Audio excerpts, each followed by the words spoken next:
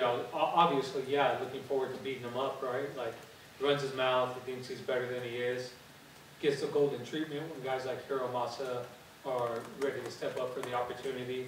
You know, you're getting ready to fight on a stage that this fight means everything. This fight means popularity. This fight could give him the opportunity to go to the next level and fight in the UFC if he would have took the opportunity to fight me. Like, real warriors come bandaged, bruised, and hurt to fights all the time. Like, step up to the fucking plate in the fight, man. Like, don't run. Don't be a coward and don't run. Like, we're here to fight, you know? And he ran. He's a pussy. He ran, you know? Like, he ran from the challenge.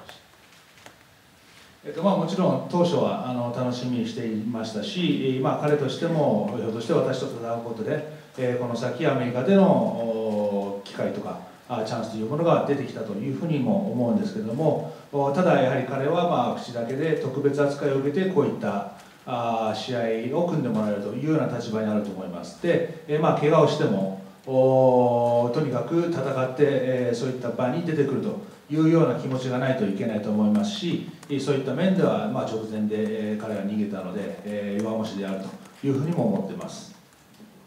Um, so, if you win against uh, Hiromasa this time and become champion, do you think Asakura Kai, Kai Asakura will be worthy of your first challenger? You know, again, I don't pick and choose who I fight like him. I don't have that luxury.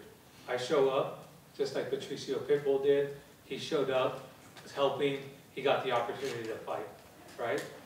Me, I'm the same way. I don't care who I fight. I don't care where I fight. I don't care when I fight. As long as I'm fighting, that's, that's what I do. I show up to fight. And so whoever Saki Ibarra wants to put in front of me, whoever Scott Coker wants to put in front of me, that's who I'm fighting.